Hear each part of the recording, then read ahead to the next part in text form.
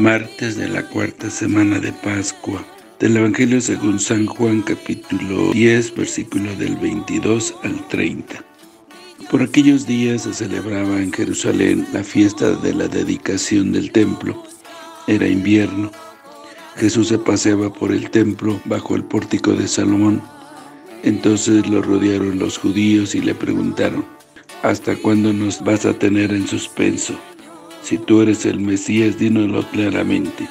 Jesús le respondió, ya se los he dicho y no me creen.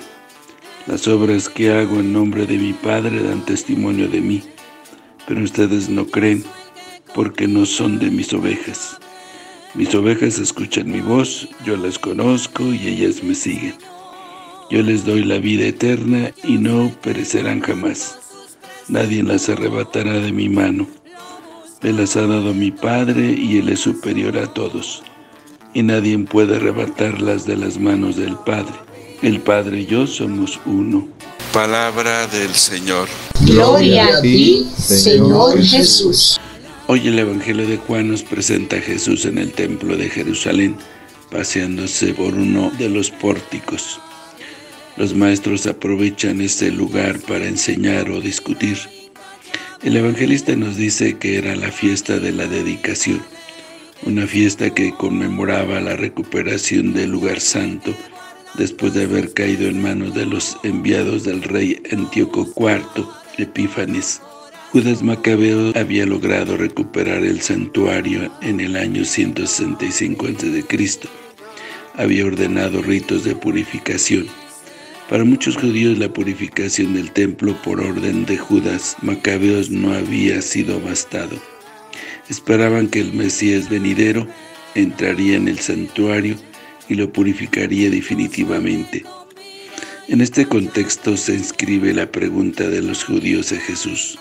Si tú eres el Mesías, dínoslo francamente.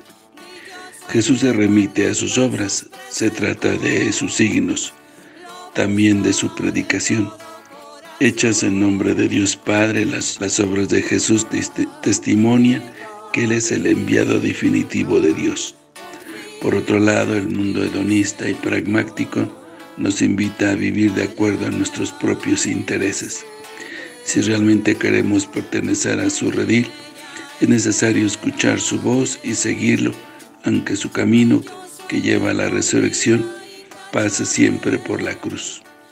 Tendríamos que ser nuestra la actitud que expresó hondamente Pedro. Señor, ¿a quién iremos? Tú tienes palabras de vida eterna. En la Eucaristía escuchamos siempre su voz. Hacemos caso de su palabra. Nos alimentamos con su cuerpo y sangre. En verdad, este es el momento privilegiado en que Cristo es pastor y nosotros comunidad suya. Eso debería proclamarse a lo largo de la jornada, siguiendo sus pasos, viviendo en unión con Él, imitando su estilo de vida. Que el Señor los bendiga. Camina en la ley del Señor, dichoso el que guardando sus preceptos,